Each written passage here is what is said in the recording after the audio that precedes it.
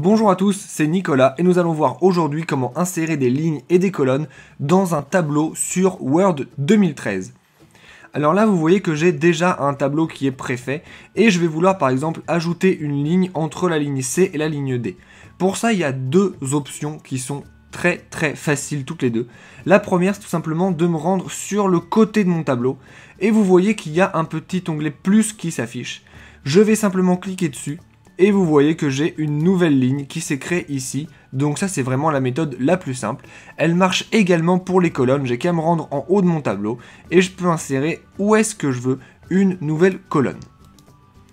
Une fois que ceci est fait, vous avez quand même des choses un petit peu plus euh, avancées que vous pouvez faire pour insérer des colonnes ou des lignes. C'est simplement lorsque vous êtes dans votre tableau, donc que vous avez cliqué dedans, il vous suffit d'aller dans l'onglet Disposition de votre ruban et puis là, vous allez avoir insérer. Vous pouvez choisir si vous voulez insérer une ligne au-dessus ou au-dessous de la cellule sélectionnée qui est ici celle-là.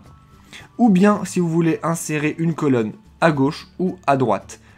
Vous savez donc maintenant comment insérer des lignes et des colonnes dans un tableau sur Word 2013. Si vous voulez aller un petit peu plus loin maintenant avec les tableaux dans Word, eh bien je vous conseille d'aller dans la description de cette vidéo où vous trouverez des liens vers plein d'autres vidéos tuto comme celle-ci. Vous trouverez aussi des liens vers d'autres grandes parties de Word expliquées aussi simplement que dans cette vidéo.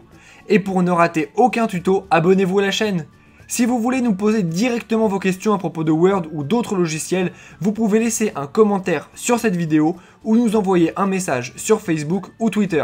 Enfin, si vous avez vu une erreur dans cette vidéo ou si ce que je vous ai montré ne fonctionne plus à cause d'une mise à jour ou autre, s'il vous plaît, dites-le nous dans les commentaires, cela nous permettra de pouvoir réactualiser la vidéo.